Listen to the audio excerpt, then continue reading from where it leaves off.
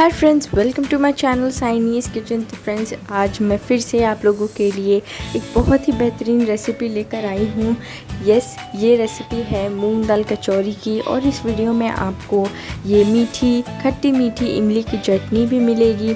तो दोनों रेसिपीज़ हैं, बहुत ही ज़्यादा टेस्टी और डिलीशियस है। जैसे आपको बिल्कुल दुकान में मिलते हैं ना, बिल्कुल वैसे ही हम आज बनाएँगे क्रिस्पी क्रिस्पी मूंग दाल कचौरी तो चलिए रेसिपी स्टार्ट करते हैं। सबसे पहले एक बोल में हम ले लेंगे दो कप मैदा, जिसमें हम डालेंगे स्वाद के अनुसार नमक। अब हम इसमें हाथ से हल्का चूर के अजवाइन डालेंगे। अब हम इसमें डालेंगे तीन बड़े चम्मच देसी घी, जिसको हमने मेल्ट कर लिया है। अब हम इसको अच्छे से मल लेंगे ताकि जो अच्छा सा मोयन है, वो बन जाए। ये देखिए, बिल्कुल इस तरह से हमें इसको मसल लेना है। दोनों हाथ की मदद से हमें इसको अच्छी तरह से मसलना है। ये देखिए, कितने अच्छे से ये जो शेप है, वो होल्ड कर पा रहा है। यानी कि हमारा मोयम जो है, वो बन चुका है। अब हम इसमें हल्का हल्का पानी डालकर इसका एक टाइट आटा गूंद लेंगे। बिल्कुल टाइट नहीं होना चाहिए, हल्का सा सॉफ्ट होना चाहिए। तो हम हल्का हल्का पानी डालकर इसका एक डो तैयार कर लेंगे। ये देखिए, डो को हम अच्छे से चिकना कर लेंगे।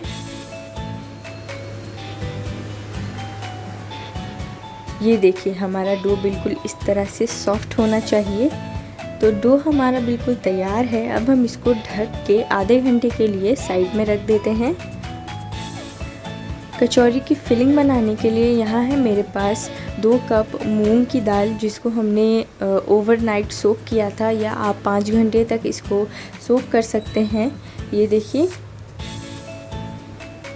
अब हम इसको मिक्सर जार में डाल लेंगे। और इसका एक पेस्ट बना लेंगे। पानी का यूज़ नहीं करेंगे। हम इसका ऐसे ही जो है वो कोर्स पेस्ट बना लेंगे। पेस्ट हमने बना लिया है। अब हम इसको प्लेट में निकाल लेते हैं। अब हम गैस ऑन कर लेंगे और ले लेंगे एक पैन जो कि बिल्कुल सूखा हुआ होना चाहिए। अब हम इसमें डालेंगे खड़ा धनिया।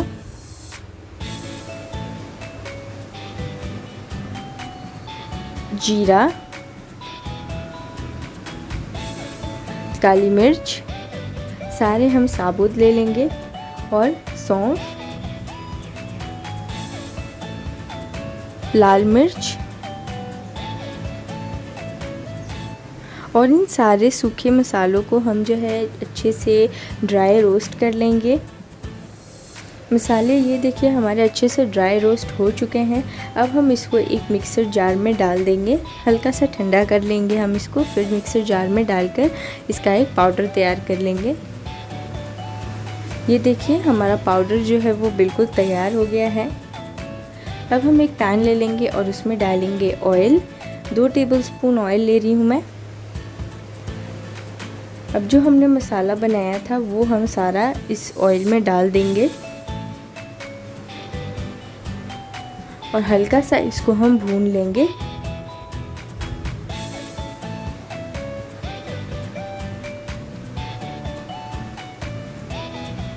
अब हम इसमें डालेंगे दो बड़े चम्मच बेसन।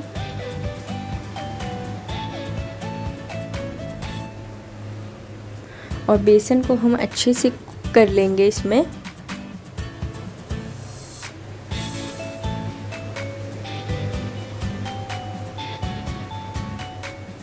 ये देखिए, बेसन को हम किस तरह से पका रहे हैं।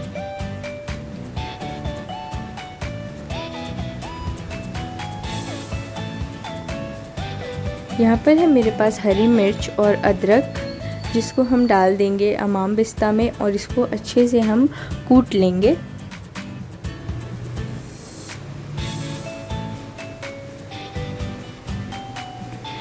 और इसको भी हम हमारे बेसन वाले मिक्सचर में जो है वो डाल देंगे और मिक्स कर लेंगे।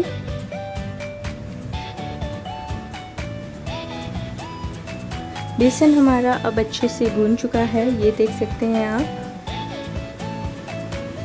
अब हम इसमें जो हमने दाल का पेस्ट बनाया था, वो हम पूरा इसके अंदर डाल देंगे और मिक्स कर लेंगे।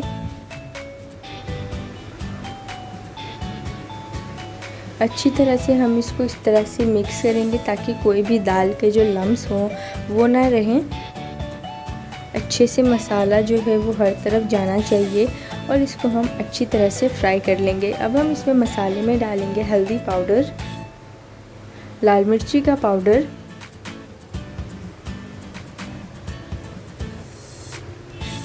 और धनिया पाउडर। आमचूर पाउडर डाल देंगे हम इसमें।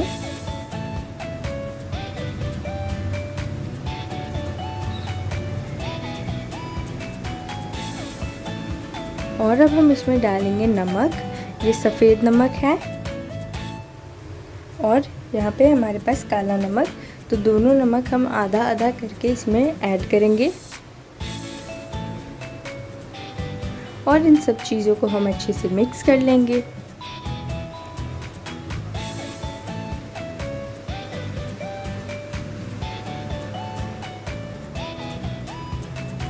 तो फ्रेंड्स ये लीजिए फिलिंग हमारी बिल्कुल तैयार हो गई है। ये देख सकते हैं आप, अच्छी तरह से सारी चीज़ें जो है वो कुक हो गई हैं।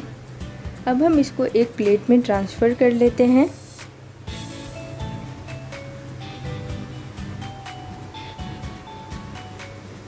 अब हम इसको ठंडा होने देंगे। तो फ्रेंड्स जब तक हमारा मसाला जो है वो ठंडा हो जाता है तब तक हम बना लेंगे हमारी चटपटा इमली की चटनी, जिसके लिए यहाँ पे है मेरे पास इमली। ये बीज वाली इमली है। अगर आप चाहें तो जो बीज जिस पे नहीं होते हैं, वो इमली भी यूज़ कर सकते हैं। और मैंने इसको गर्म पानी में जो है वो सोख करके रखा था आधे घंटे के लिए। ये सोख हो चुका है। अब हम इसको छन्नी की मदद से छान लेंगे। और सिर्फ़ हमें इमली का जो है वो पानी चाहिए। इसको हम एक पैन में डाल लेंगे। और यहाँ पे मेरे पास रूम टेम्परेचर में गुड़, ये हाफ़ कप गुड़ है, जिसको मैंने पीसेस में कट कर लिया है और इसको हम इसमें डाल देंगे।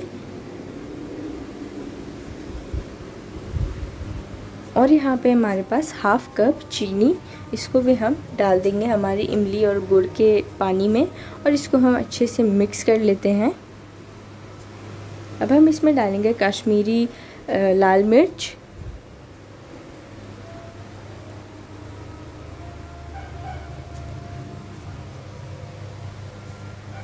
और इसको हम अच्छे से मिक्स कर लेंगे। अब हम हमारे इमली को जो है वो उबाल आने देंगे।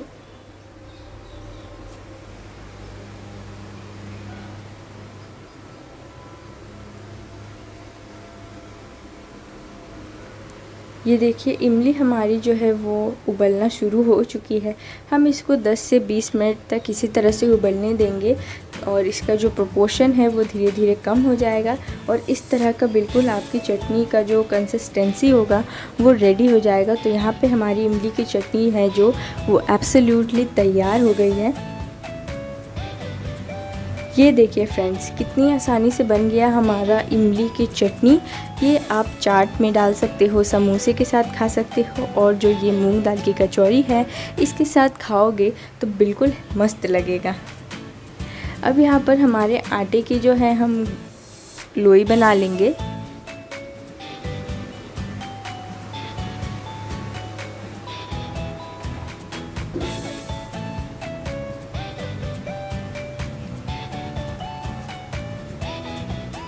और हमारी जो फिलिंग है, उसके भी हम छोटे छोटे जो है वो बॉल्स बना लेंगे ताकि हमें फिलिंग भरने में ज़्यादा प्रॉब्लम ना हो, वो इधर उधर बिखरे ना।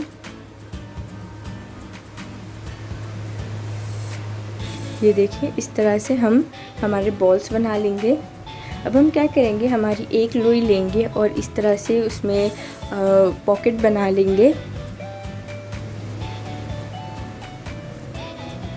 और एक बॉल लेंगे हमारे स्टफिंग का और इसको हम इसके अंदर भर देंगे और बिना किसी लीक्स के हम इसको अच्छे से इस तरह से सील कर लेंगे पहले। और इसके बाद इसको हम हल्का सा चपटा कर लेंगे। बिल्कुल एक कचौरी का शेप दे देंगे हम इसको।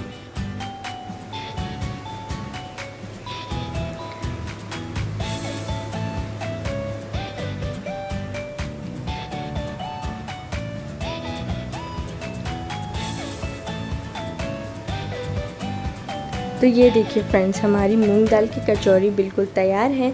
इसी तरह से हम अपनी बाकी की जो कचौरियाँ हैं, वो बना लेंगे। तो एक और कचौरी में आपको बनाकर इस तरह से दिखा देती हूँ।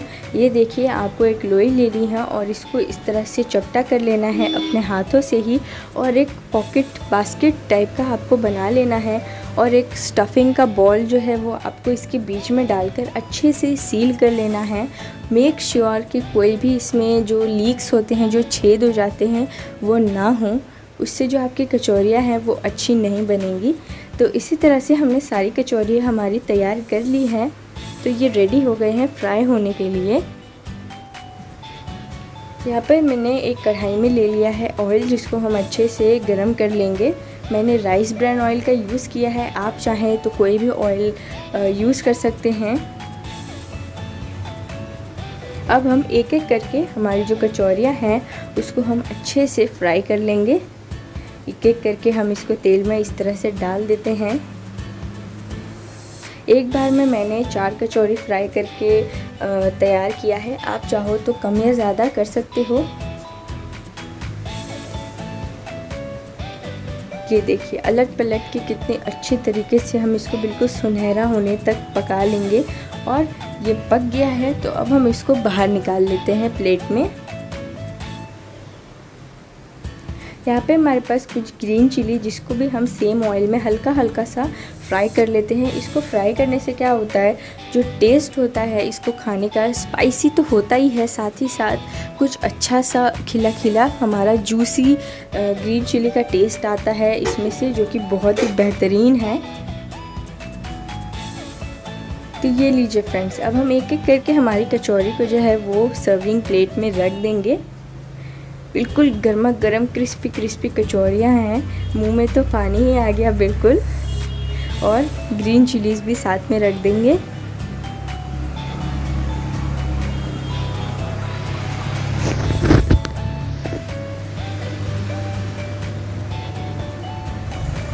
और हमारी इमली की चटनी।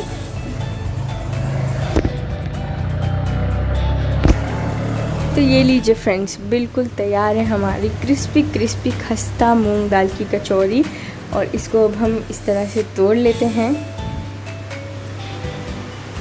वाओ, कितना क्रिस्पी देखा ना आपने। ये है हमारी मूंग दाल की सुपर हिट कचौरी आप इस रेसिपी को ज़रूर ट्राई करना और अपने एक्सपीरियंस हमारे साथ ज़रूर शेयर करना।